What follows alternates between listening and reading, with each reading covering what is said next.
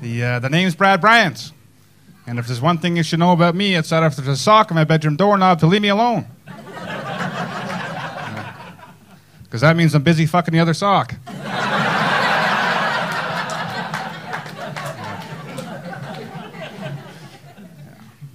I got some advice when I was younger, yep. I was told that when you're making love, you got to act like it's your last day on earth. But girls don't like it when you start crying in the middle of sex. And Call your mom to tell you you love her. Oh man, oh man, I tell you. I heard, uh, I heard a woman recently admitted to not smiling for the past 40 years to refrain from getting wrinkles. When her husband was asked what he thought of her decision, he said he had no idea and figured she was just being a cunt.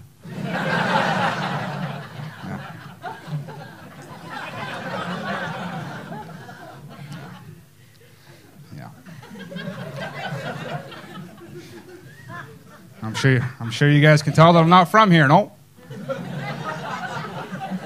No. Some people assume I am, though. Yeah. When they, uh, when they look at me, they think I'm British. But when they hear me speak, they think I'm mentally retarded.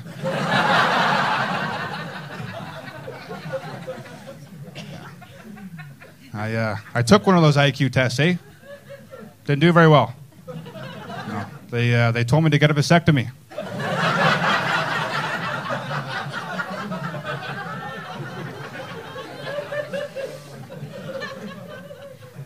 Turns out uh, my IQ is the same number as my shoe size.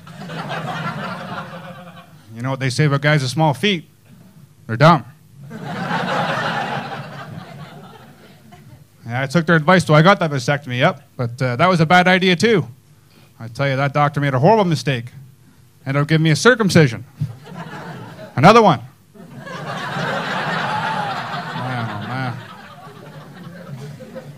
I didn't have any to spare, to be honest with you. Oh. Good Lord.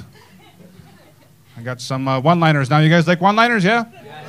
That's good. I like one-liners too. They're uh, they're short and sweet, just like the time I lost my virginity. Except now, no one's really laughing. I still have 50 pounds in my pocket. She's she's a prostitute. Lots of prostitutes. Yep.